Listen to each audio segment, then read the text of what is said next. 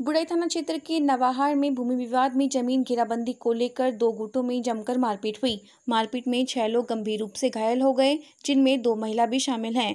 Police ने मामले में दोनों पक्षों से छह लोगों को गिरफ़्तार कर जेल भेज दिया। घटना के बाद से ही गाँव में तनाव का माहौल है। तनाव को देखते हुए प्रशासन द्वारा गाँव में पुलिस बल तैनात कर दिया गया। घटना को लेकर दोनों पक्षों द्वारा दो अलग अलग मामला बुढ़ई थाना में दर्ज किया गया, जिसमें कुल बारह लोगों को नामजद आरोपी बनाया गया। पुलिस पूरे मामले की छानबीन कर रही है। बता दें कि नवाहर गाँव में ज़मीन विवाद को लेकर कामदेव यादव वगैरह और तजमूल यादव के बीच पुरानी रंजिश थी। दो माह पूर्व भी उक्त भूमि को लेकर बमबाजी व गोलीबारी भी हुई थी। इधर बीती रात दोनों पक्ष ज़मीन घेराबंदी को लेकर आपस में भिड़ गए।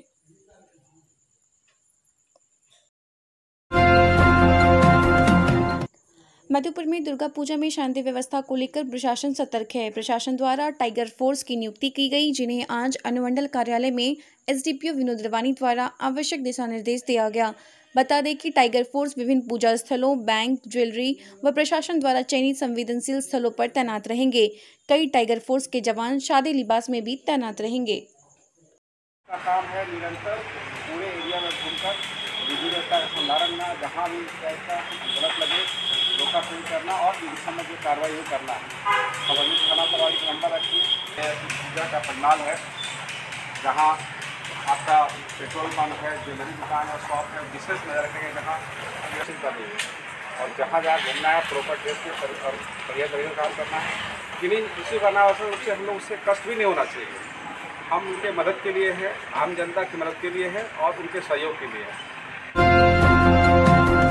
दुर्गा पूजा को लेकर विभिन्न पूजा समितियों के सदस्यों के साथ बैठक के बाद गठित नौ सदस्यीय टीम ने बुधवार को अनुमंडल पुलिस पदाधिकारी, नगर प्रशासक, विद्युत कार्यपालक अभियंता समेत अनुमंडलीय अस्पताल उपाधीक्षक से मिलकर दुर्गा पूजा के दौरान होने वाले विभिन्न समस्याओं से अवगत कराया।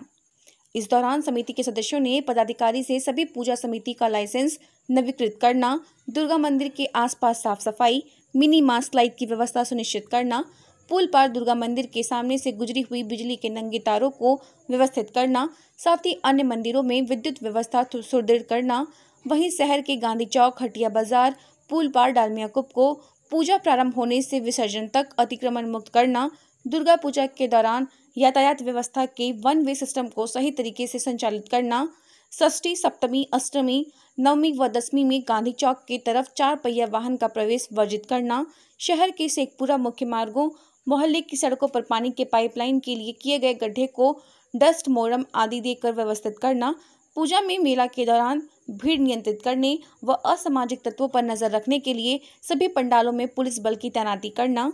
श्यामा प्रसाद मुखर्जी उच्च विद्यालय के दोनों मुख्य द्वार पर कीचड़ से निजात पाने के लिए डस्ट की व्यवस्था करना। शेखपुरा दुर्गा मंदिर के सामने मैदान में बने गड्ढे को समतल करना।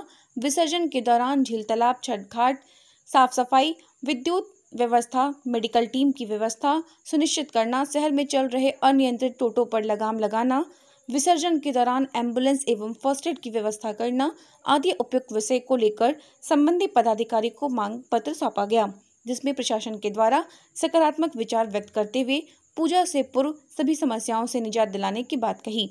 इस मौके पर नौ सदस्यीय टीम के अरविंद कुमार पूर्व प्रमुख सुबल प्रसाद सिंह, हेमंत नारायण सिंह, पंकज पीयूष, पूजा समिति के संयोजक कन्हैयालाल कन्नू, अजय सिंह, पप्पू चौधरी, राजेश कुमार, रामचंद्र झा आदि मौजूद थे।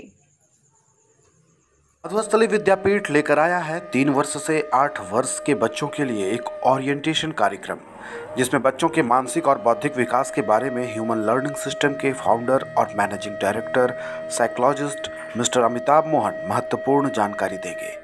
इस कार्यक्रम में शहर के सभी अभिभावक सादर आमंत्रित हैं। तेरह अक्टूबर सुबह साढ़े नौ बजे।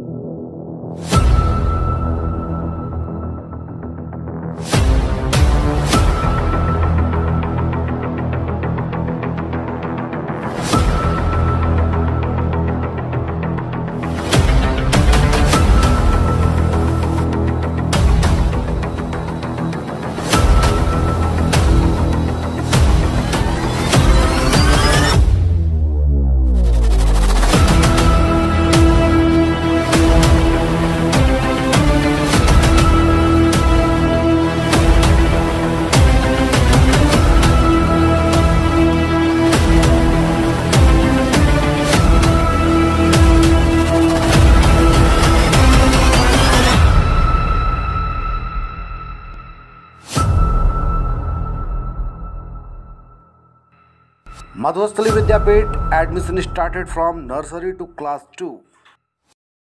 है तेरा बहुत कुछ सीखना है, कमर कसनी अभी बाकी है, मुट्ठी भींचना है।